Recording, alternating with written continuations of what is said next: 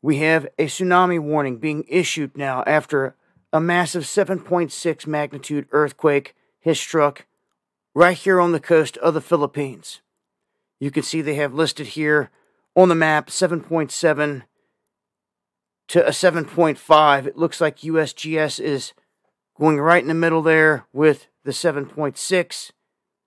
The tsunami warning issued for the surrounding areas, and this goes for all these areas in the islands, in these smaller islands.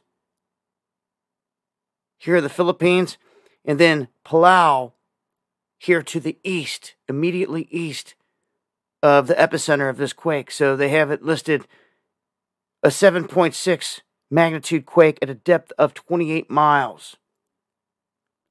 And as of right now, they just have warnings out and cautioning people to be on alert. Now, we could see more big quakes in this area after this.